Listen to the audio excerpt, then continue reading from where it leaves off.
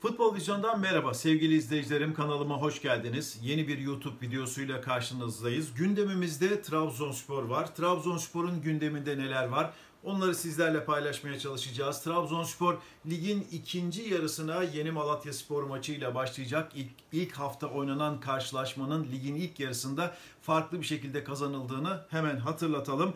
Bu maçla ilgili verileri sizlerle konuşmayacağım. Zaten maçın başlamasına çok kısa bir süre kaldı. Bu e, videoyu çektiğimiz saatte ama Trabzonspor ligin ikinci yarısında da ilk yarısındaki başarısını gösterebilmek adına önemli transfer hamlelerini devam ettiriyor. Özellikle eksik bölgeleri tamamlama yolunda ciddi bir çaba içerisinde. Hatta bir adım daha ileri gidelim e, eksik bölgeleri tamamlama yanında önümüzdeki seneye yönelik de çok ilginç transfer hamleleri yapıyor Trabzonspor. Bu manada Trabzonspor'un hem bu seneyi hem de gelecek sene şampiyonluk durumunda Şampiyonlar Ligi'ne girebilmek açısından önemli bir hamle yaptığını vurgulayabiliriz. Tabii ki bu noktadaki en önemli hamlenin Visca olduğunu söylememize bilmem gerek var mı?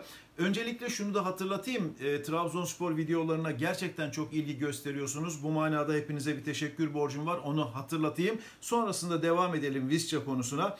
4.3 milyon euro 3,5 yıllık bir sözleşme. 750 e, bin euro alacak bu dönemde bir sonraki yıl yani yıllık 1,5 milyon euro yine o standart limiti aşmadan Trabzonspor yani yönetimsel başarısını da orada bir kez daha ortaya koydu ve taksitler halinde ödenecek bir bonservis bedeli olduğunu söyleyebiliriz.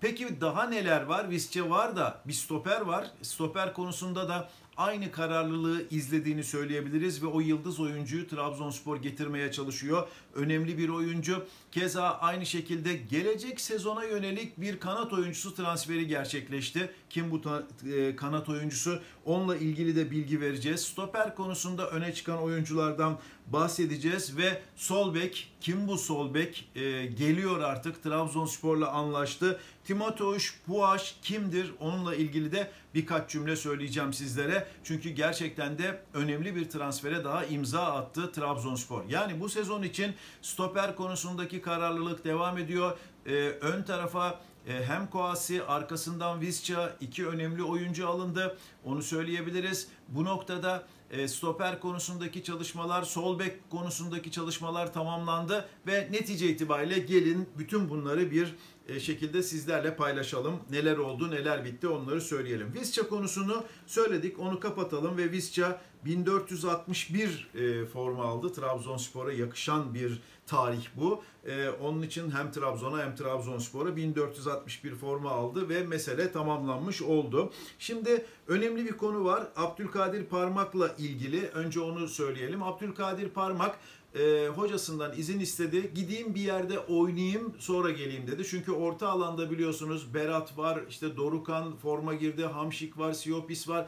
Bir kalabalık e, Bakasetas var. Kalabalığın içerisinde e, oynayarak dönmeyi istediği için de kiralanma durumu söz konusu ve gerçekten çok enteresan bir şey. Göztepe'nin e, isteği vardı ama onun ötesinde söyleyeceğim. Giresunspor, Rizespor, Gaziantepspor, Sivasspor, Konyaspor, Kayserispor e, ve Kasımpaşa takımlarının e, talip olduğunu söyleyelim. Yani bu da oyuncunun ne derece kaliteli bir oyuncu olduğunu ya da herkesin nasıl ihtiyaç duyduğu bir oyuncu olduğunu gösteren bir belge olarak söyleyelim. Peki oyuncu nereye gitmek istiyor? Oyuncu bir oynayacağı yere gitmek istiyor. İki, ısrarla istendiği bir yere gitmek istiyor. Üç, hedefi olan en azından hedefli bir yere gitmek istiyor. Bunu söyleyelim. Bu noktada henüz kesin kararını vermiş değil. Mesela Konya Spor deniyor. Konya Spor'la ilgili Konya Spor biz biraz bekleyelim birkaç gün sonra e, karar verelim. Yani transfer açıldıktan sonra dedi. Fakat netice itibariyle bakacağız. Yani oyuncunun taliplerinin çok sayıda olduğunu vurgulayabiliriz. E, şimdi e, Trabzonspor'un temel e, sorunlarından bir tanesi e, yabancı sayısındaki fazlalık.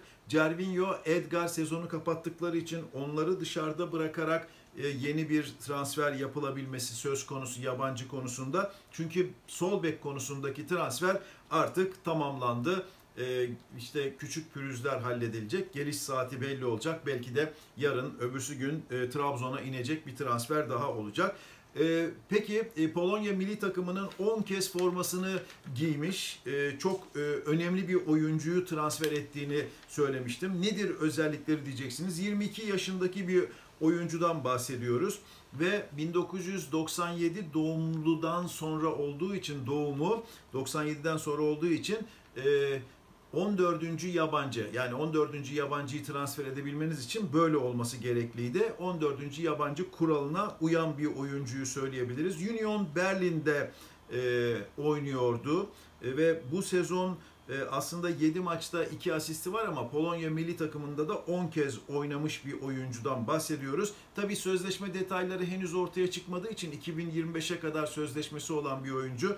Acaba e, satın alma opsiyonlu kiralama mı ona e, bakacağız. Henüz belli değil. Timotheus Puaş nasıl bir oyuncu? Onunla ilgili birkaç bilgi vereyim. Bir kere çok güçlü bir oyuncu. Onu söyleyelim. E, hamle zamanlaması ikili mücadelelerde çok iyi. E, özellikle söyleyeceğimiz savunmasının doğal olarak güçlü olduğunu söyleyebiliriz. Şutu var. Uzaktan e, denemekten hiçbir şekilde çekinmiyor. E, ve adam eksiltme becerisinin olduğunu da söyleyebiliriz. Savunma arkası koşularında hızlı. E, onu da söyleyelim. Ve duran top kullanma becerisi var. E, Birebir adam eksiltme özelliği e, var fakat bunu çok yüksek e, kullanmıyor onu söyleyebiliriz. Tabii ki bütün bunlar onun değişik maçlardaki performansını izlediğimiz performansına göre söylediğimiz Trabzonspor'da yeni bir e, ufka yelken açacak onu özellikle söyleyebiliriz öyle bakabiliriz. Şimdi oyuncuyu tanıdıktan sonra sol bek ha şunu da söyleyelim sol bek konusunda 3 alternatif vardı biliyorsunuz. Uğur Çiftçi, Irakli Azarovi ve e, Timotheus Poaş isimleri vardı. Bu üçünün arasında hangisi derseniz Timotheus Poaç olduğunu rahatlıkla söyleyebiliriz. E, yani çok verimli ve önemli bir oyuncuyu Trabzonspor transfer etti diyebiliriz artık 22 yaşında. Tabi transferde imza atılmadan e, net cümleler kurmak çok kolay olmuyor ama yine de öyle söyleyebiliriz. Şimdi e, enteresan bir bilgimiz daha var. Stoper bölgesine gelmeden önce Trabzonspor gelecek sezonla ilgili de transfer hamlelerini devam ettiriyor. Diyeceksiniz ki gelecek sezonun oyuncusu nasıl olacak? Evet gelecek sezonun oyuncusu Trabzonspor'un evladı Yusuf Erdoğan da gelecek sezon için Trabzonspor'la anlaşmaya vardı. Yusuf Erdoğan'ı önümüzdeki sezon artık Trabzonspor'da izleyeceğiz. Tabii ki e, onun gelişiminin de Kasımpaşa'daki gelişiminin de çok verimli olduğunu söyle, söylersek Trabzonspor'un nasıl bir kadro yapılanması içerisine girdiğini de e, net bir şekilde anlatmış oluruz. Şimdi gelelim en çok merak edilen konu, konuya. Sol bek tamam. Önde işte Visca gibi, Kouassi gibi oyuncular tamam. Santrofor bölgesinde hoca Koyta'yı bırakmadı. Cornelius var. Bir müddet sonra Canini de dönecek. Dolayısıyla orada da bir sıkıntı olmayacak. Yani zengin ve alternatifli bir kadro oluşumu var. Burada stoper bölgesinde Edgar'ın olmamasından kaynaklı olarak ne olacak diye bir soru var. Burada da çok net bir şekilde şunu söyleyelim. Trabzonspor Visca'da olduğu gibi bir aydır e, Kaan Ayhan konusunda bastırıyor. Ve başkanın da şöyle bir özelliği var. Bu konularda hiç geri adım atmıyor. Kaan Ayhan için 5 e, milyon eurolara kadar indi e, Sassuolo ve hatta son maçta da yine oynatmadılar. Yedek, yedek sırasında oturttular. Dolayısıyla Kaan Ayhan'la ilgili Kaan da gelmek istiyor. Beşiktaş da istiyor Kaan'ı ama Kaan şampiyonluğa oynayan Trabzonspor tercihini de yapmak istediğini vurguladı.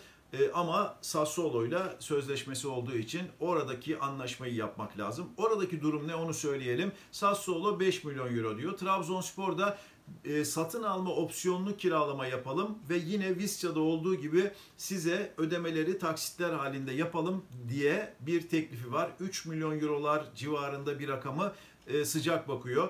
E, şimdi diyebilirsiniz ki neden e, Kaan Ayhan da yabancı bir oyuncu için bastırmıyor? Şu anda e, Trabzonspor'un 14 yabancısı oldu. Tabi askıya alınacaklar vesaire gibi konular var ama 14 yabancısı var. Bir yeni yabancı alabilme olasılığının çok düşük olduğunu söyleyebiliriz. Bu noktada hemen küçük bir not olarak da Tronse'nin gidici olduğunu vurgulayalım.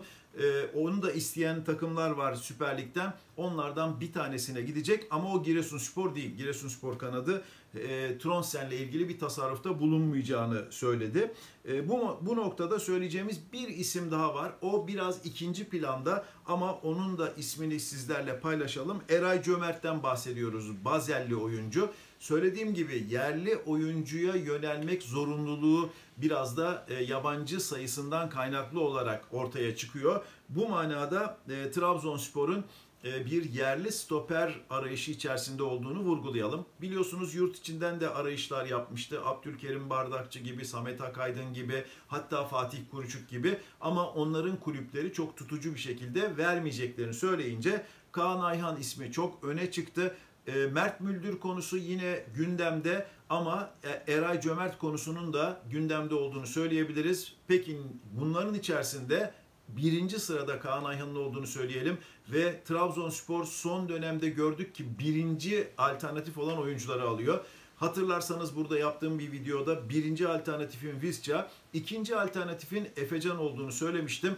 Ama ikinci alternatifle ilgili görüşmeleri askıya aldı ve birinci alternatifini bitirdi. Yani e, kısa bir süre sonra Kaan Ayhan e, da Trabzonspor'da cümlesini duyarsak ben açıkçası şaşırmayacağım. Çünkü e, Ahmet Ağoğlu tırnak içerisinde Trabzonspor'un şampiyonluğu için her şeyi yapmaya hazır bir görüntü sergiliyor yönetim kuruluyla birlikte.